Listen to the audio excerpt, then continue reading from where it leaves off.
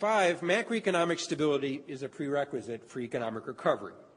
Countries need to get the fundamentals right fiscal, monetary, and exchange rate policies so there can be stable economic conditions that permit markets to expand, trade can resume, people can rely on a currency as a store of value, and investors can feel more secure about saving and building. But we also have to recognize that fragile states are just that fragile, especially in the face of sudden shocks. They need specialized, real time monitoring that can assess and respond to changing external conditions, such as the fast rising food and energy prices we've seen, and to do so with speed and some flexible support. The international financial institutions, including the IMF and the World Bank Group, need tools to be able to help quickly, such as by clearing arrears and then to fill gaps promptly, whether for governmental capacity, food, or balance of payment support. Sixth, effective efforts to address fragility and conflict have to be grounded in a political economy that is capable of sustaining the peace. This means taking into account relationships between power and wealth in society. Conflict and instability can, after all, be a lucrative business for those in power who may exploit state resources or profit from violence. Putting in place the economic incentives for stability and peace may not be enough if donors don't have a good understanding of who wins and who loses from peace settlements.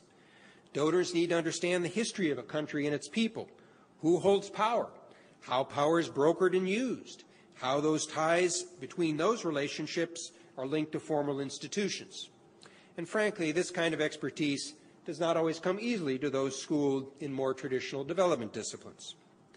Seven, it is important that a focus on building state legitimacy, capacity, and performance not lead us to overlook the most important sustainable engine of recovery and growth, a healthy private sector.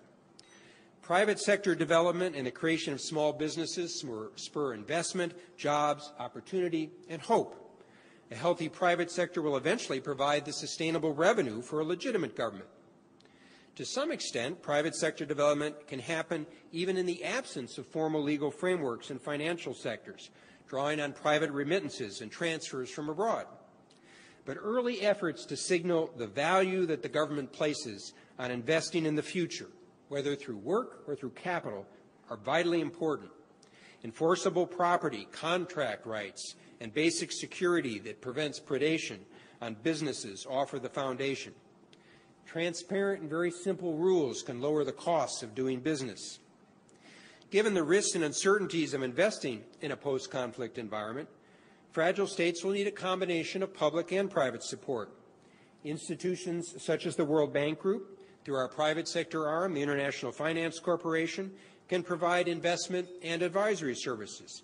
We can help assess the investment climate, develop basic financial services and microcredit, encourage better governance and rule of law, and enable the environment for private sector activity.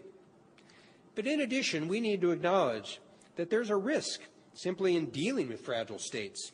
We need to be prepared for some projects to fail in these countries if the larger effort is to have a chance.